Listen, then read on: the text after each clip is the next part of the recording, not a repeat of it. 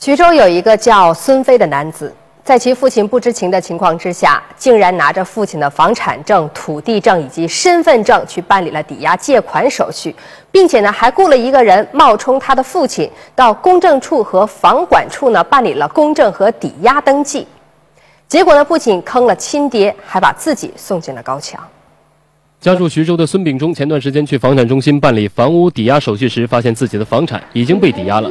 更为蹊跷的是，所有的手续都是以他自己的名义办理的，身份证、户口本等证件一样也不少。更让他气愤的是，还有人拿着借款合同要求他还钱。就这个嘛，涨价马上我我我要钱去，把这房子押。我说我我我什么事儿，我都押房了呢？我房子给你咱俩签字，那那他怎么？我没许你个钱，你给我放放这谁签字？那谁签字？那那找谁？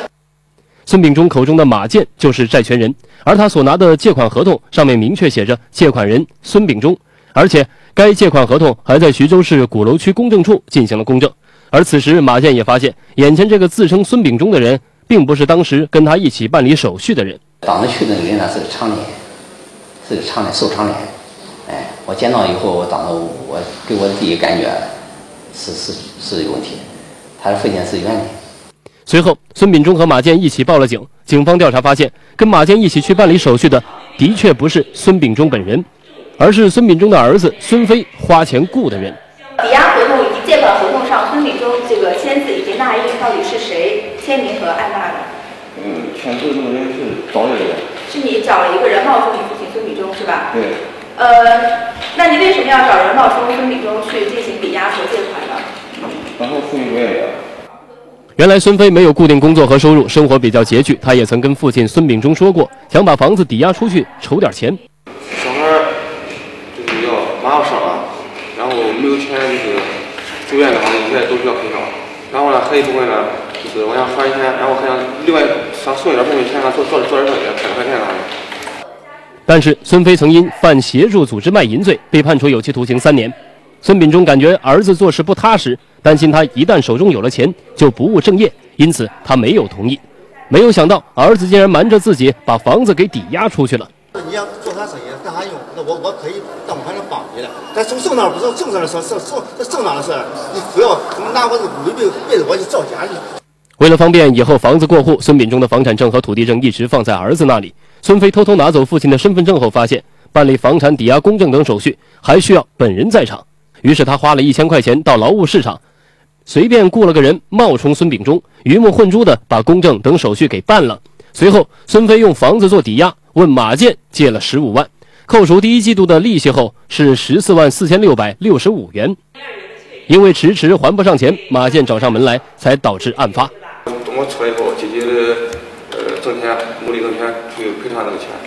而孙秉忠在气愤儿子行为的同时，认为徐州鼓楼区公证处和房产管理中心也存在重大过失。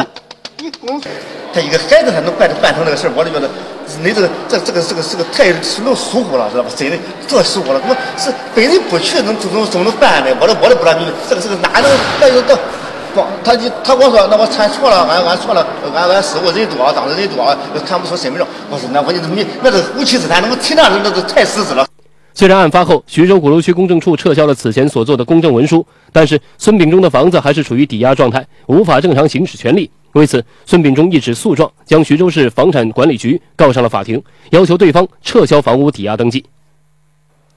近日，徐州市鼓楼区人民法院以合同诈骗罪对孙飞作出了一审判决，判处有期徒刑四年，并处罚金人民币两万元。而孙秉忠状告徐州市房产管理局一案呢，还在审理中。我们再来回看本案的另一个当事人马建，他怎么就那么放心的将钱借给孙飞呢？难道事前就没有发现人是假冒的吗？马建原来在徐州做点小生意，存了些钱，后为了取得更高的利益，便想高息将这些钱给借出去。于是通过房产中介公司与毫不相识的孙飞签订了十五万元的借款合同，约定借款年利率是百分之十四。为了让自己更放心，马建夫妇还要求孙某提供了房产抵押，并去现场看了房产。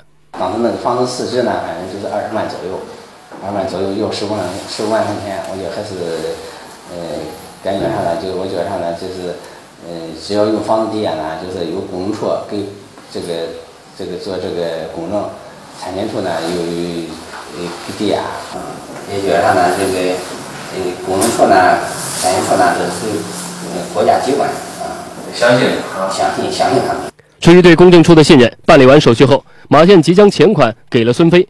令人没想到的是，孙飞并没有偿还借款的能力，而当时办理公证等手续的人也是假冒的。徐州鼓楼区公证处更是事后撤销了此前作出的公证文书，马建所持有的借款合同就失去了法律上的强制执行效力。也就是说，马建不能申请法院强制执行，让孙飞还款或者处理房产。因此，马建将徐州市鼓楼区公证处告上了法庭。要求赔偿十五万元的本金和五点二五万元的利息。被告由于工作上没有尽到谨慎审查的义务，草率出具了公证书，致使犯罪嫌疑人轻而易举地骗取了原告的钱财，造成了我们巨大的财产损失，其呃其本身有着严重的过错，应当对我们我们的损失给予赔偿。徐州市鼓楼公证处辩称。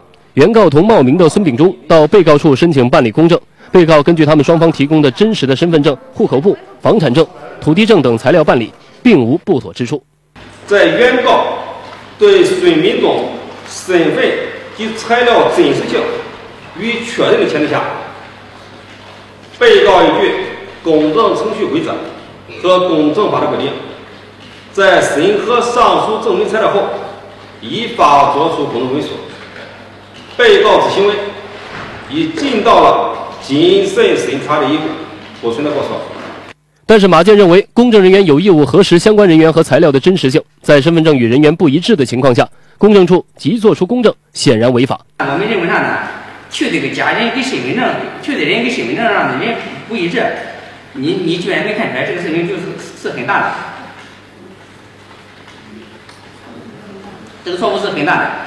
公证员的工作职责职责就是确定人是真的，不是这个不是这个人，你不会出具公证文书、签字、按手印。